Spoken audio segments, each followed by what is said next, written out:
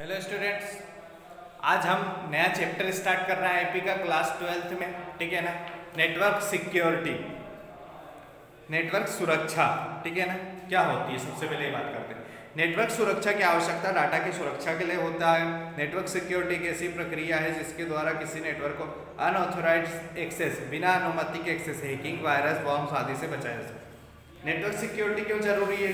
ठीक है ना? कुछ डाटा की सुरक्षा करने के लिए, हमारे पास जो भी डाटा होता है, उसको सेव करने के लिए हम नेटवर्क सिक्योरिटी यूज़ करते हैं। ठीक है ना? हर कंपनी के पास में अपना अपना पर्सनल डाटा होता है। हम लोग भी मोबाइल चलाते तो हमारे मोबाइल में भी हमारा पर्सनल डाटा होता है ठीक है ना? तो वो सारी चीज़ों को सिक्योर करने के लिए नेटवर्क सिक्योरिटी का आवश्यक क्या रहता है? कुछ लोग ऐसे रहते हैं जो बिना परमिशन के हमारा डाटा रीड एंड राइट कर देते हैं। ठीक है ना? पढ़ लेते हैं, हमारा डाटा देख लेते हैं। आपको पता भी नहीं चलता है या फिर हमें भी नहीं पता चलता कि किसने हमारा डाटा कब देख लिया है ठीक है ना? वो आपका मोबाइल हैक करके कंप्यूटर हैक करके वायरस डाल के बॉम्ब्स डाल के इनको क्या करते हैं कि हमारे मोबाइल को हैक करके और उसको ख़राब भी कर सकते हैं या फिर ये बोल सकते हैं कि हमारा डाटा चोरी भी कर सकते हैं। किसी भी कंप्यूटर की सुरक्षा सबसे बड़ी ज़िम्मेदारी होती है।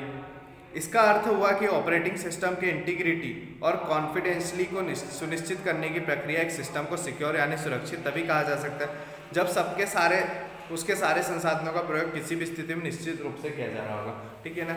अगर हम बोलते हैं कि हम किसी फ़ाइल को या फिर किसी चीज़ को स्टोर करके रख रहे हैं, ठीक है ना?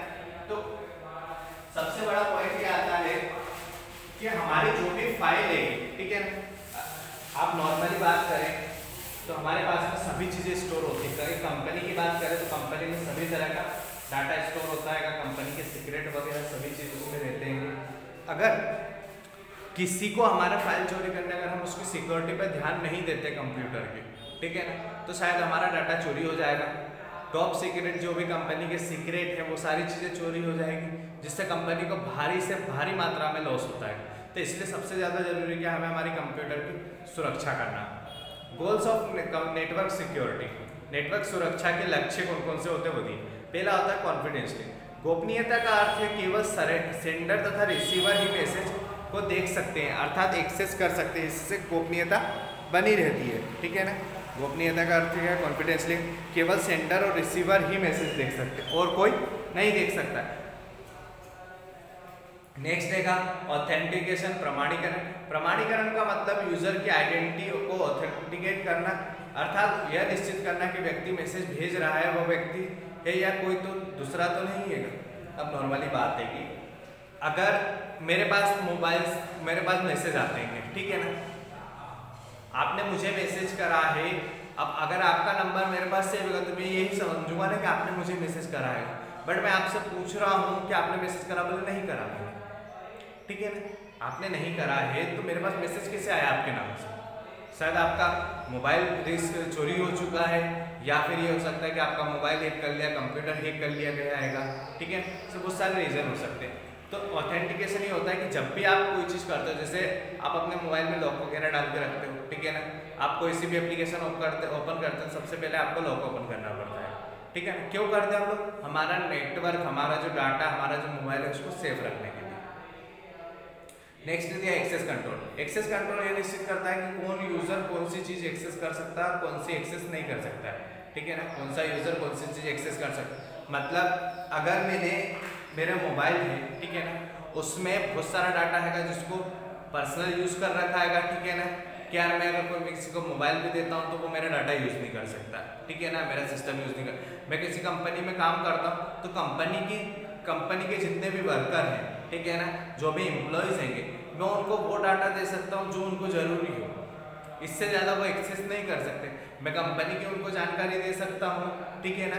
कि भैया कंपनी में ये खासियत है, ये फैसिलिटी है, सारी चीज़ें उनको दे सकता हूँ, ठीक है ना? बट कंपनी के जो टॉप सीक्रेट रहेंगे कौन सा टेंडर कब है, किसका क्या प्राइस है, ये चीज़ें मैं नहीं देना चाहता हूँ, ठीक है ना? तो वो चीज़ें मैं एक्सेस करने की परमिशन नहीं दूँगा। अटेक सॉरी नेक्स्ट है फॉर अवेलेबिलिटी उपलब्धता। उपलब्धता यह कहता है कि जो रिसोर्स है, वो केवल ऑथराइज यूज़र के लिए ही उपलब्ध होना चाहिए, बाकी को नहीं। ठीक है ना? जो भी हमारा डाटा है, अगर मैंने स्टोर करा है तो सिर्फ़ मेरे लिए होना चाहिए, और किसी के लिए नहीं। ठीक है ना? हम कुछ भी चीज़ करते हैं, हम चलो ठीक है, हम फ़ोटोज़ खींचते हैं, हम मैसेज करते हैं ऑडियो वीडियो जो भी है। ठीक है ना? नॉर्मली किसके लिए? हमारा मोबाइल चला रहा है तो सारी चीज़ें किसके लिए होना चाहिए? हमारे लिए। हम क्यों किसी को दिखा? ठीक है ना? हम क्यों किसी को दें? तो वही सारी चीज़ें क्या है यहाँ पर? आपके लिए ठीक है ना? नेक्स्ट पॉइंट आता है अटैक अब हमारे डाटा पर कितनी तरीके से अटैक हो सकता है ये चीज़। अटैक एक प्रकार से कंप्यूटर पर आक्रमक है। अटैक हमारे कंप्यूटर नेटवर्क को कई तरह से आक्रमक करता है जिससे हमारे नेटवर्क को क्षति पहुँचती है। नेटवर्क अटैक निम्न प्रकार के होते हैं। पहला होता है रिकॉन्सेंस प्राथमिक आक्रमण। सबसे पहला अटैक कौन सा होता है? रिकॉन्सेंस का मतलब प्रथम आक्रमण होता है। यह सिस्टम रिसोर्स तथा सर्विस का अनाधिकृत डाटा को संग्रह करता है। जैसे एक बैंक लुटेरा बैंक को लूटने के लिए बैंक का पता लगाता है। वहाँ कितने सुरक्षा गार्ड है, कितने कैमरे हैं, कहाँ पैसा रखे और भागने के लिए किस रास्ते का प्रयोग करना ठीक इसी प्रकार रिकॉन्सेंस भी अटैक करता है और बहुत शक्तिशाली होता है। सबसे पहला अटैक होता है आप नॉर्मली बात है यहाँ पर एक एग्ज़ाम्पल दिया है कि अगर कोई एक बैंक लुटेरा है ठीक है ना? बैंक रॉबरी करनी है। तो बैंक के बारे में उसको कौन कौन सी जानकारी चाहिए, ठीक है? ना तो सबसे पहले तो वो बैंक का पता लगाएगा, कहाँ सबसे ज़्यादा पैसा हमें मिलेगा, ठीक है ना? वहाँ कितने सिक्योरिटी गार्ड है, कितने कैमरे लगे हैं, कहाँ पैसा रखा जाता है, कैसे रखा जाता है ठीक है ना? वहाँ से भागने के लिए अगर हम जाते हैं तो भाग के कहाँ जाएँगे, कौन से रूट पे जाएँगे? ये सारी जानकारी कहाँ रहती है रिकॉन्सेंस में? इसी तरह का मोबाइल आपका कंप्यूटर है ठीक है ना?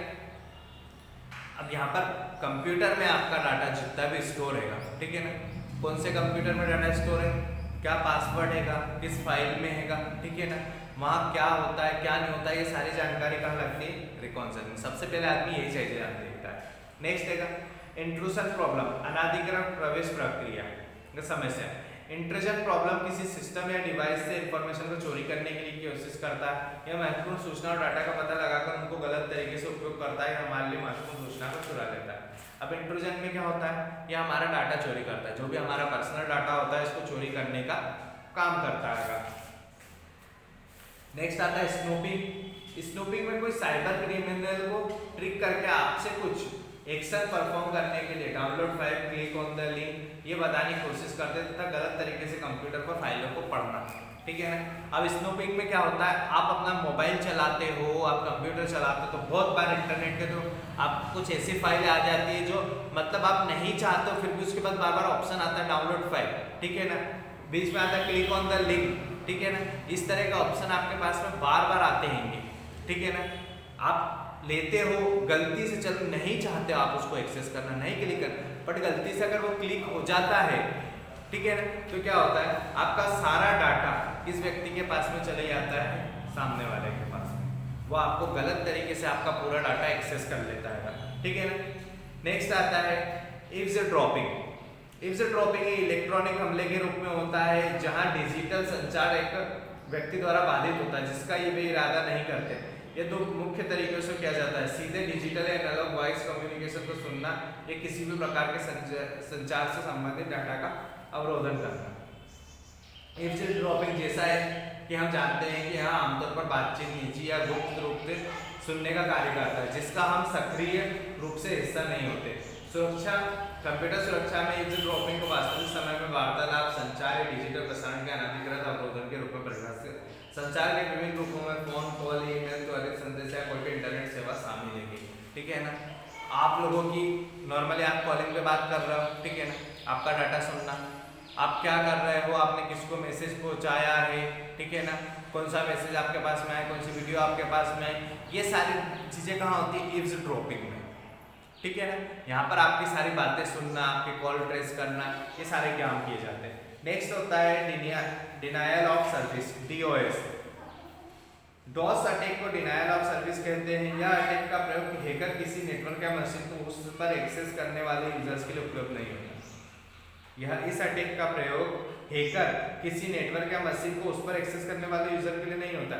इस अटैक का मुख्य उद्देश्य यूज़र को किसी सर्विस जैसे इंटरनेट पर एक्सेस करने से रोकना है। इस अटैक का हैकर बहुत बड़े हथियार की तरह प्रयोग करता है और उन सभी सर्विस को यूज़र के लिए उपलब्ध करा दिया जाता है जो कि इंटरनेट से जुड़ी होती है। अब डीओएस में क्या होता है? कि यहाँ पर इस अटैक का प्रयोग हैकर किसी नेटवर्क या मशीन पर उस पर एक्सेस करने वाले यूज़र के लिए नहीं होता। ठीक है ना? जो नेटवर्क हम एक्सेस कर रहा है, ठीक है ना? ये उस नेटवर्क को ही बंद कर देता है। हम इंटरनेट चला रहे हैं तो क्या करेगा उसने? इंटरनेट को एक्सेस करने का प्रोसेस ही बंद कर देगा। इस अटैक का हैकर बहुत बड़े हथियार की तरह उपयोग करते हैं। उन सभी सर्विस को यूज़र्स के लिए उपलब्ध करा दिया जाता है जो इंटरनेट से जुड़ी होती है। ठीक है ना? क्या है? हमें नेटवर्क इंटरनेट एक्सेस कर रहे हैं। ये क्या करेगा?